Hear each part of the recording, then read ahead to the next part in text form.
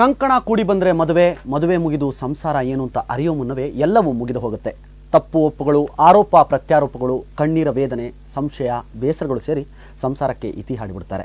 So ಅಂತ ಇತಿಶ್ರೀ ಹಾಡಿದ ಸಂಸಾರದೊಳಗಿನ ಕೂಗೆ ಮುಂದೆ ಮುರಿದು ಬೀಳೋ ಸಂಸಾರಗಳಿಗೆ ಎಚ್ಚರಿಕೆ ಪಾಠವಾಗಲಿ ಅಂತ ನಾವು ನಡೆಸ್ತಿರೋ ಈ ಹೊತ್ತಿನ ವಿಶೇಷ ಸಂದರ್ಶನವೇ ಮುರಿದು ಹೋದ ಮನೆಗಳು. ನಾನು ನರೇಂದ್ರ ಮಡಿಕೇರಿ.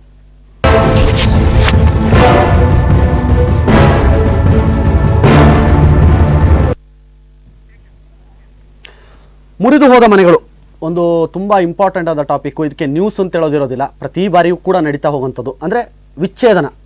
ಸಂಸಾರಗಳು ಒಡೆದು ಹೋಗಿ ಅತ್ತೆ ಮಾವನೇ ಮನೆ ಬಿಟ್ಟು ಹೋಗುವಂಥದ್ದು, ಗಂಡ ಹೆಂಡತಿ ಜಗಳ ಆಗಿ ವಿಚ್ಛೇದನ ಪಡೆಯುವಂಥದ್ದು, ಇಂಥದ್ದೊಂದು ಕಾರ್ಯಕ್ರಮ. ಇಲ್ಲಿ ಕೇವಲ ನಾವು ಮೊದಲಿಗೆ ನಿಮಗೆ ಹೇಳ್ತೀನಿ, ನಾವು ಚಾನಲ್ಗೆ ಬೇಕಾಗಿ ನಾವು ಟಿ ಆರ್ ಪಿಯನ್ನು ತರ್ತಾ ಇಲ್ಲ, ಅಥವಾ ಒಂದಷ್ಟು ಗೆಸ್ಟ್ಗಳನ್ನು ನಾವು ಪ್ರಮೋಟ್ ಮಾಡಬೇಕು ಅಂತ ಮಾಡ್ತಿಲ್ಲ.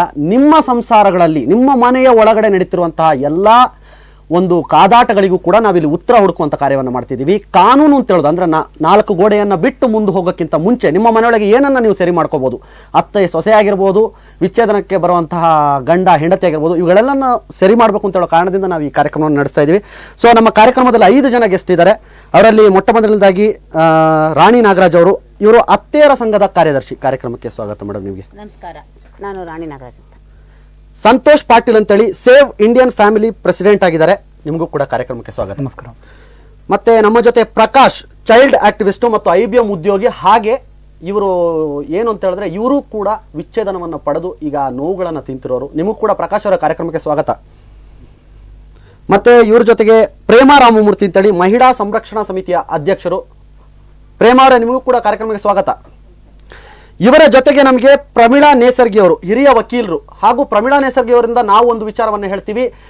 ಈ ದೇಶದ ಅತಿ ದೊಡ್ಡ ಹುದ್ದೆಯಲ್ಲಿರುವಂತಹ ಒಬ್ಬರ ಸಂಸಾರದಲ್ಲೂ ಕೂಡ ವಿಚ್ಛೇದನೆಯ ಮಾತು ಕೇಳಿ ಬಂದಿದೆ ಅದನ್ನೂ ಕೂಡ ನಾವು ಹೇಳ್ತೀವಿ. ಸೊ ಬೆಂಗಳೂರಿನ ಟ್ರಾಫಿಕ್ ಜಾಮ್ನಲ್ಲಿ ಪ್ರಮೀಳಾ ನೇಸರ್ಗಿ ಅವರು ಕೊಂಚ ತಡವಾಗಿ ಬರಬಹುದು ಬಟ್ ಒಂದು ಗಂಟೆ ಕಾಲ ಈ ಕಾರ್ಯಕ್ರಮ ನಡೆಯೋದ್ರಿಂದ ಅವ್ರು ನಮ್ಮ ಜೊತೆ ಸೇರ್ಕೊಳ್ತಾರೆ. ಸೊ ಕಾರ್ಯಕ್ರಮದ ಆರಂಭ ಮಾಡೋದಾದ್ರೆ, ರಾಣಿ ನಾಗರಾಜ್ ಅವರು, ನಿಮ್ಮ ಸಂಘನೇ ಒಂಥರ ಚೆನ್ನಾಗಿದೆ. ಅತ್ತೇರ ಸಂಘದ, ಅತ್ತೆಯರ ಸಂಘ ಅಂತೇಳಿ. ಯಾಕೆ ಇಂಥದ್ದೊಂದು ಸಂಘ ಕಟ್ಟಿದ್ರಿ ಅತ್ತೆಯರ ಸಂಘ? ಈಗ ಸೊಸೆಯಿಂದ ಎಷ್ಟೋ ಜನ ಹತ್ತಿರಗೋ ನೋವುಗಳನ್ನ ಉಂಟಾಗ್ತಾ ಇದೆ. ಈಗ ನಾವು ಒಂದು ಸೊಸೆನ ಮನೆ ಬೆಳಕಾಗಲಿ ಅಂತ ಕರ್ಕೊಂಬರ್ತೀವಿ. ಮನೆ ಬೆಳಕಾಗಲಿ, ಈಗ ಎಲ್ರಿಗೂ ಒಂದೊಂದೇ ಮಕ್ಕಳು ಈ ಥರ ಇರೋದ್ರಿಂದ ನಮ್ಮ ಮನೆಗೆ ಈ ಹೆಣ್ಮಗಳು ಬೆಳಕಾಗಿ ಬರಲಿ, ನಮ್ಮ ಮನೆ ಬೆಳಗ್ಲಿ ಅಂತ ಕರ್ಕೊಂಡ್ಬರ್ತೀವಿ ಆದರೆ ಈಗ ಸೊಸೆಯರು ಏನು ಮಾಡ್ತಾ ಇದ್ದಾರೆ ಈಗೆಲ್ಲ ಐ ಟಿ ಬಿ ಟಿ ಕಂಪ್ನಿಗಳಲ್ಲಿ ಕೆಲಸದಲ್ಲಿರ್ತಾರೆ. ಮದುವೆ ಆಗಿ ಮಾರನೇ, ಮದುವೆ ಆಗಿ ಹದಿನೈದು ದಿನಕ್ಕೇ ಅವ್ರ ಹೊಂದಾಣಿಕೆಗಳಲ್ಲಿ ಇಲ್ಲ. ಗಂಡ ಹೆಂಡ್ತಿರಲಿ ದಾಂಪತ್ಯದಿರಲಿ ಇಬ್ಬರಲ್ಲೂ ಒಬ್ರನ್ನೊಬ್ರು ಅರ್ಥ ಮಾಡ್ಕೋಬೇಕು. ಅವರ ಅವಶ್ಯತೆಗಳನ್ನೆಲ್ಲ ಅರ್ಥಕೊಂಡು ಒಬ್ರಿಗೊಬ್ರು ಪರಸ್ಪರ ಸ್ಪಂದಿಸಬೇಕು. ಅದ ಅವಾಗ ದಾಂಪತ್ಯದಲ್ಲಿ ಪ್ರೀತಿ ವಿಶ್ವಾಸ ನಂಬಿಕೆ ತ್ಯಾಗ ಸಂಘವನ್ನು. ಅತ್ತೆಯರ ಸಂಘವನ್ನ ಕಟ್ಟಕ್ ಕಾರಣ ಏನು? ಇದು ನಮ್ಮ ಗಂಡು ಮಕ್ಕಳುಗಳಲ್ಲಿ ಕೇಳುವಂತ ಅವರು ಎಷ್ಟೋ ಜನ ಹೆಣ್ಣು ಮಕ್ಕಳುಗಳು ಹೆಣ್ಣು ಸೊಸೆಯರು ಈಗ ಕಾನೂನು ದುರ್ಬಳಸ್ಕೊಂಡು ಈಗ ಕೇಸ್ಗಳನ್ನ ಹಾಕ್ತಾ ಇದ್ದಾರೆ. ಫೋರ್ ನೈಂಟಿ ಏಟ್ ಎ ಆಮೇಲೆ ವರದಕ್ಷಿಣೆ ಕಿರುಕುಳ ಆಮೇಲೆ ಡೊಮೆಸ್ಟಿಕ್ ವೈಲೆನ್ಸ್. ಇವನ್ ಹಾಕೋದ್ರಿಂದ ಗಂಡು ಮಕ್ಕಳು ಬಹಳ ಜನ ನೋವುಗಳು ತಿಂತಾ ಇದ್ದಾರೆ. ಹೆಣ್ಣು ಮಕ್ಕಳಿಗಾದ್ರೆ ಸಂಘ ಸಂಸ್ಥೆಗಳಿವೆ. ಆದ್ರೆ ಗಂಡು ಮಕ್ಕಳು ನೋವು ಕೇಳೋರು ಯಾರು ಇಲ್ಲ. ಮತ್ತೆ ಹೆಣ್ಣು ನಾವು ಹೆಣ್ಣೆ ಅವಳು ಹೆಣ್ಣೆ. ಆದ್ರೆ ಹೆಣ್ಣು ಬರೀ ಸೊಸೆರಿಗೆ ಮಾತ್ರ ಇದೆ. ಮತ್ತೆ ಗಂಡಿನ ತಾಯಿ ಯಾವ ರೀತಿ ಸಂರಕ್ಷಣೆ ಇಲ್ಲ. ಅದರಿಂದ ನೋವು ತಿಂತಾ ಇರೋದು ಹೆಣ್ಣು ಅವ್ರ ಗಂಡನ ತಾಯಿ ಅವ್ರ ಅಕ್ಕ ತಂಗಿಯರು ಅವ್ರ ಸೋದರೆಲ್ಲ ನೋವು ತಿಂತ ಇದ್ದಾರೆ. ಅದಕ್ಕೋಸ್ಕರ ನಾವು ಕಟ್ಟಬೇಕಾಗಿದೆ ಈಗ. ಏನು ಸಫಲತೆ ಸಿಕ್ಕಿದೆ ಅದರಲ್ಲಿ? ಅತ್ತೆಯರಿಗೆಲ್ಲ ನೀವು ಬೆಂಬಲವಾಗಿದ್ದೀರಾ ಹೇಗೆ? ಮಾಡ್ತಾ ಇದೀವಿ ಅದಿನ್ನು ಕಾನೂನು ಬದಲಾವಣೆಗಳಾಗಬೇಕು ನಾವು ಎಷ್ಟೇ ಮಾಡಿದ್ರು ಈಗ ಕಾನೂನು ದುರ್ಬಳಕೆ ಬಿಡಿ, ದುರ್ಬಳಿಸ್ತಾ ಕಾನೂನು ತುಂಬಾ ದೂರ ಕಾನೂನು ನಮಗಿಂತ ತುಂಬಾ ದೂರದಲ್ಲಿದೆ. ಬೇಕಾಗಿರೋದು ನಾಲ್ಕು ಗೋಡೆಗಳ ಮಧ್ಯೆ ಪ್ರಾಬ್ಲಮ್ ಸಾಲ್ವ್ ಮಾಡಬೇಕು ನಾನು ಸಂದ ಇದು ಕಾರ್ಯಕ್ರಮ ಆರಂಭದಾಗಲೂ ಕೂಡ ಅದೇ ಹೇಳಿರೋದು. ಕಾನೂನು ತುಂಬಾ ದೂರದಲ್ಲಿದೆ. ಅದೇನು ಒಂದು ಸಮಸ್ಯೆ ಜೊತೆ ಇನ್ನೊಂದು ಸಮಸ್ಯೆನ ತಲೆಗೆ ಹಾಕೊಂಡೋಗಿ ದಿನ ಕೋರ್ಟ್ ಓಡಾಡೋದು. ನಾಲ್ಕು ಗೋಡೆಯೊಳಗೆ ಗಂಡ ಹೆಂಡತಿ ಹೆಂಗ್ ಸರಿಗೆ ಆಗಬೇಕು ಅತ್ತೆ ಸಾಮರಸ್ಯ- ಸಮರಸ್ಯ ಬರ್ಬೇಕು. ಸಾಮರಸ್ಯ ಬರಬೇಕು. ತುಂಬಾ ಹೇಳ್ತೀನಿ ಅಂತ ಬಂದಿದ್ದೀರಾ? ನೋಡೋಣ ನಿಮ್ಮ ಸಮ- ಸಾಮರಸ್ಯದ ಇದನ್ನ ನಾನು ಕೇಳ್ತೀನಿ. ಸಂಸ್ಕಾರ ಬರಬೇಕು. ಹೌದು ಹೌದು. ಸಂತೋಷ್ ಪಾಟೀಲ್ ಅವರು save Indian family president save Indian family ಅದರದ್ದು ಒಂದು ಪ್ರೆಸಿಡೆಂಟ್ ಆಗಿದ್ದೀರಾ? ನೀವು ನೋಡ್ದಂಗೆ ವಿಚ್ಛೇದನಗಳಿಗೆ ಮೂಲ ಕಾರಣ ಒಂದೇ ಸೆಂಟೆನ್ಸ್ ಅಲ್ಲಿ ರಪ್ ಅಂತ ಹೊಡೆದ್ರೆ ಯಾರಿಗೆ ಹೇಳ್ತೀರಾ? ಗಂಡನೋ ಹೆಂಡತಿಯೋ ಅತ್ತೆನೋ ಮಾವನೋ? ಅವರಿಬ್ಬರಲ್ಲಿ ಇರೋದು ಈಗೋ ಪ್ರಾಬ್ಲಮ್ ಹೌದು. ಯಾರಲ್ಲಿ ಯಾರಲ್ಲಿ ಅಂತ? ಇಬ್ಬರಲ್ಲೂ ಗಂಡ ಹೆಂಡತಿರ ಮಧ್ಯದಲ್ಲಿ. ಈಗೋ ಪ್ರಾಬ್ಲಮ್ ಸ್ಟಾರ್ಟ್ ಕಾರಣ ಏನು? ಕೆಲಸನ ಉದ್ಯೋಗನ? ಉದ್ಯೋಗ. ಹಾ. ಒಂದು. ಈ ನಡುವೆ ತುಂಬಾನೇ ಏನಂದ್ರೆ ತುಂಬಾನೇ ಇಂಡಿಪೆಂಡೆಂಟ್ ಆಗಿರೋದ್ರಿಂದ ನನ್ನ ನಿನ್ನ ಅವಶ್ಯಕತೆನೂ ಇಲ್ಲ ಅನ್ನೋ ಥರ ಪರಿಸ್ಥಿತಿ ಬಂದುಬಿಟ್ಟಿದೆ. ನಾನು ಒಬ್ ಒಬ್ಬರು ನಾನು ಸ್ವತಂತ್ರವಾಗಿದ್ದೀನಿ ಅಂತ ಹೇಳೋ ಪರಿಸ್ಥಿತಿ ಅಂತ ಬಂದಿದೆ. ಅಂತ ಒಂದು ಇದರಲ್ಲಿ ನಾವು ಹೇಳ್ಕೊಳ್ಳೋದು ಏನಂದ್ರೆ ಇಟ್ ಈಸ್ ಈಗೋ ಪ್ರಾಬ್ಲಮ್ ಅಂದ್ರೆ ಈಗೋನೇ ಪ್ರಾಬ್ಲಮ್ ಈ ಡಿವೋರ್ಸ್ಗಳು ನಡೆಯೋದು ಬೇರೆ ಈಗೋ ಪ್ರಾಬ್ಲಮ್ ಹಾ ಹೌದು. ಅಂದ್ರೆ ನಿಮ್ಮ ಮೊಟ್ಟ ಮೊದಲನೇ ಸಮಸ್ಯೆಗೆ ನಮ್ಮ ಕಾರ್ಯಕ್ರಮ ಆರಂಭದಲ್ಲಿ ಸಿಕ್ಕಿರೋದು ಈಗೋ ಪ್ರಾಬ್ಲಮ್ ಹೌದು. ಇದು ನಾಲ್ಕು ಗೋಡೆ ಮಧ್ಯದಲ್ಲೇ ಸರಿ ಮಾಡ್ಕೋಬಹುದು ಈಗೋ ಬಿಟ್ಟು ಫಸ್ಟ್ ಅದು ಅದು ಗೋಡೆಗಳಲ್ಲೇ ಸರಿ ಮಾಡ್ಕೋಬಹುದು ಅದೊಂದ್ ಸರಿ ಮಾಡ್ಕೊಂಡ್ರೆ ಎಲ್ಲ ಸರಿ ಹೋಗುತ್ತೆ. ಪ್ರತಿಷ್ಠೆಯನ್ನು ಇಟ್ಕೊಂಡು ಮಾಡುವಂತದ್ದೇ ಹ್ಮ್ ಹೌದು. ಒಡಕಿಗೆ ಮೊದಲ ಹೌದು. ಓಕೆ. ನಾವು ಆ ಕಡೆಗೆ ಹೋಗೋಣ. ಪ್ರಕಾಶ್ ಪ್ರಕಾಶ್ ಅವರೇ ನೀವು ಕೂಡ ನಿಮ್ಮನ್ನ ಚೈಲ್ಡ್ ಆಕ್ಟಿವಿಸ್ಟ್ ಅಂತ ಹೇಳ್ಕೊಂಡು ನಾವು ಜನರಿಗೆ ಇದು ಮಾಡ್ತಾ ಇದ್ದೀವಿ. ನೀವು ಐ ಬಿ ಎಂ ಉದ್ಯೋಗಿ. ಯಾಕಂದ್ರೆ ನಮ್ಮ ಇದರಲ್ಲಿ ತುಂಬಾ ಕೇಳಿ ಬಂದಿರೋದು ಐ ಟಿ ಬಿ ಟಿಯಲ್ಲಿ ಜಾಸ್ತಿಯಾಗಿ ವಿಚ್ಛೇದನಗಳು ನಡೀತಾ ಇದೆ. ಅಲ್ಲಿ ಮದುವೆ ಆದಂಥವ್ರು ಅಂತೇಳಿ. ನೀವು ಕೂಡ ಅದು ಅಂಥದ್ದೊಂದು ನೋವನ್ನು ಪಟ್ಟು ಬಂದಿದ್ದೀರಾ? ನಿಮ್ಮ ನೋವನ್ನು ಜನರಿಗೆ ಹೇಳ್ಕೋಬೇಕು. ನನ್ನಂತೆ ನೀವು ಆಗಬೇಡಿ ಅಂತ ಹೇಳೋ ಒಂದು ಸಂದೇಶವನ್ನು ಕೊಡಕ್ಕೆ ಬಂದಿದ್ದೀರಾ? ಸೊ ಏನು ಹೇಳಬೇಕು ಅಂತ ಇಷ್ಟಪಡ್ತೀರಾ ಪ್ರಕಾಶ್ ಅವರೇ? ಈ ಚರ್ಚೆ ಈಗ ಆರಂಭ ಅಷ್ಟೇ. ಆರಂಭಕ್ಕೆ ಒಂದೆರಡು ಸೆಂಟೆನ್ಸ್ ಹೇಳಿ. ಮತ್ತೆ ಹೋಗ್ತಾ ಹೋಗ್ತಾ ಚರ್ಚೆ ನಡೀತಾ ಹೋಗುತ್ತೆ. ಸರ್, ನಾನು ಗಂಡಸರು ಅನ್ನೋದಕ್ಕಿಂತ ನನ್ನ ಮಕ್ಕಳ ಪರವಾಗಿ ನಾನು ಮಾತಾಡೋದಕ್ಕೆ ಇಷ್ಟಪಡ್ತೀನಿ ಇದರಲ್ಲಿ. ಹೇಳಿ ಹೇಳಿ ಪ್ರಕಾಶ್. ಹೆಂಗಸರಿಗೆ ಏನಾದ್ರು ತೊಂದರೆ ಆದರೆ ಎಲ್ಲ ಜನ ಸೇರ್ತಾರೆ ಗಂಡಸರಿಗೆ ತೊಂದರೆ ಆದರೆ ಯಾರೂ ಹೇಳ್ಕೊಳ್ಳಲ್ಲ ಆದರೆ ಮಕ್ಳಿಗಂತ ಯಾರೂ ಇಲ್ಲ. ಮಕ್ಕಳನ್ನ ನೋಡ್ಕೊಳ್ಳಿಕ್ಕೆ ಅಂತ ಒಂದು ಸಂಘ ಸಂಸ್ಥೆ ಇಲ್ಲ ಅವರಿಗೆ ಒಂದು ಸಪೋರ್ಟ್ ಮಾಡಲಿಕ್ಕೆ ಜನ ಬೇರೆ ಜನಗಳು ಯಾರು ಇಲ್ಲ. ಹಾಗಾಗಿ ನಾನು ಅದಕ್ಕೆ ಭಾಳ ಪ್ರಾಮುಖ್ಯತೆ ಕೊಟ್ಟು ಅದನ್ನು ನಾನು ಮಾಡಬೇಕು ಅಂತ ಇದ್ದೀನಿ ಸರ್. ಓಕೆ ಇಂಥದ್ದೊಂದು ಇದು.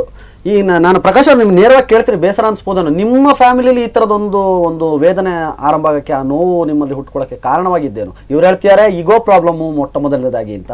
ನಿಮ್ಮ ಫ್ಯಾಮಿಲಿಲಿ ಈ ರೀತಿಯದೊಂದು ಪ್ರಾಬ್ಲಮ್ ಆಗೋಕ್ಕೆ ಯಾವುದು ಕಾರಣ ಆಯಿತು? ಸರ್ ಎಲ್ಲ ಫ್ಯಾಮಿಲಿನಲ್ಲೂ ಇರುತ್ತೆ.